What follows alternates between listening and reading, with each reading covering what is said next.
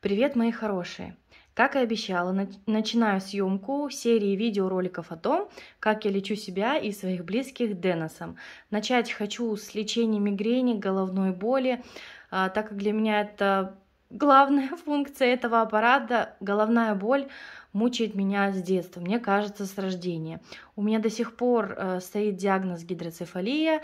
Э, звучит страшно, но по факту не так страшно. Э, МРТ я делаю периодически, вот, и мама с детства меня водила по больницам, и я что мне только не было, какие только мне процедуры и проверки не проводили. Вот, ну я просто привыкла пить э, обезболивающие таблетки, а как-то бороться своей мигренью. Э, только во взрослом возрасте я узнала, что, такое, что это мигрень и как с ней бороться.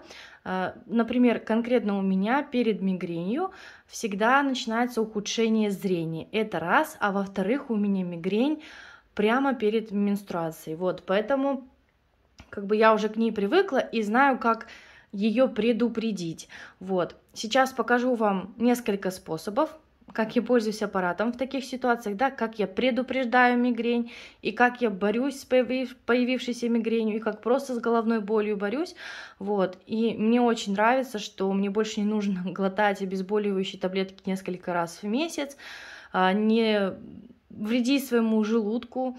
Возможно, из-за всех этих обезболивающих таблеток у меня а, в свое время появился гастрит. В общем, давайте сначала поговорим о том, что рекомендует сам производитель. Итак, ну, включим, конечно, аппарат, нажимаем на кнопочку включения и задерживаем ее.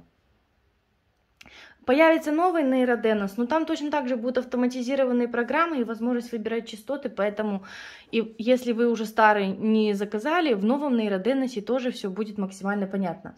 Итак, производитель рекомендует нам при мигрени использовать частоту 77 ГГц в течение 5-15 минут, а для усиления эффекта 9,5 ГГц в течение 5 минут.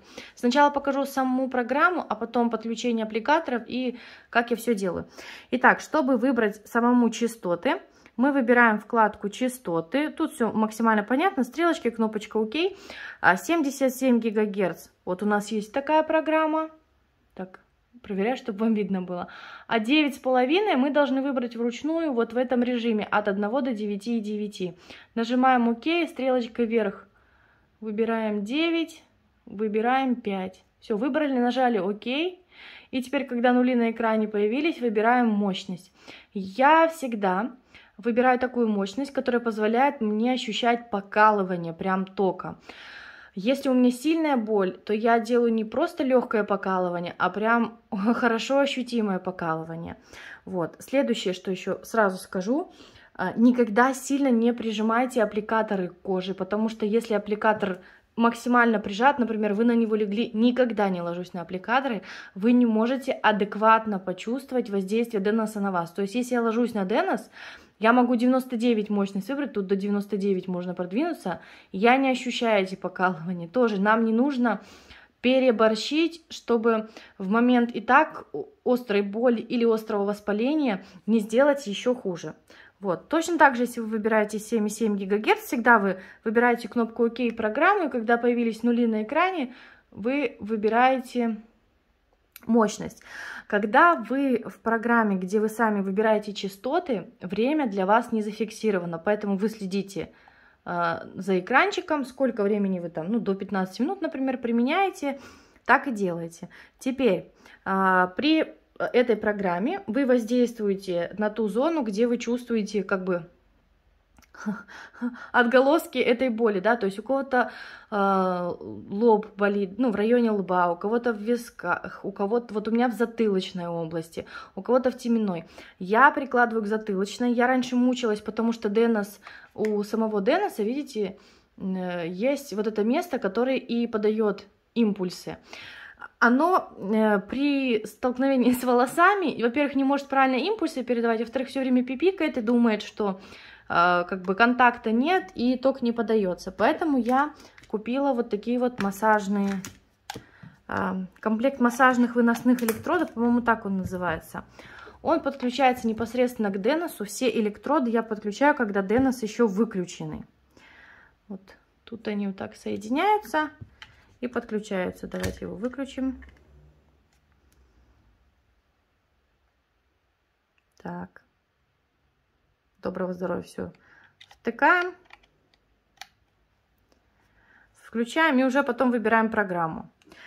Вот. Вот этот э, выносной электрод позволяет попасть прям к коже головы, минуя волосы. И я прям к затылку прикладываю и держу. Я прям чувствую, ток пошел. И, и вот так потихонечку перемещаю и прорабатываю всю затылочную область.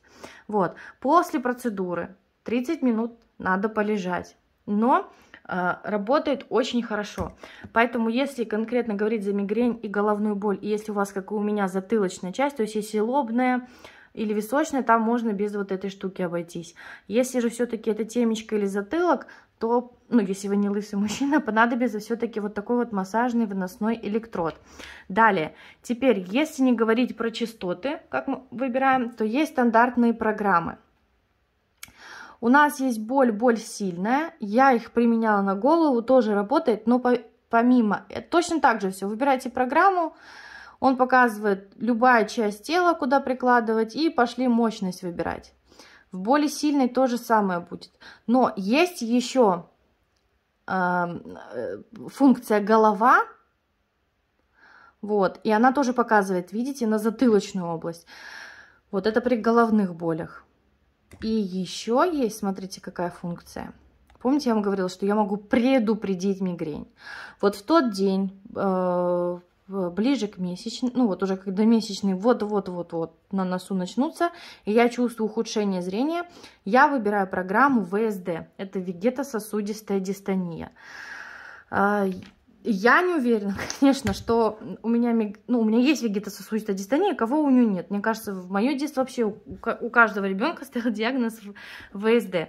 В общем, для этой вегетососудистой дистонии я выбираю вот такой вот кругленький аппликатор. Он шел комплекте с... А, нет, он не шел. Он шел тоже в отдельной коробочке, этот аппликатор. Видите, я уже настолько к нему привыкла, что мне кажется, он в комплекте.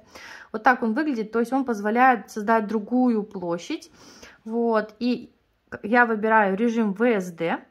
И ВСД, смотрите, куда ставить надо, на холку.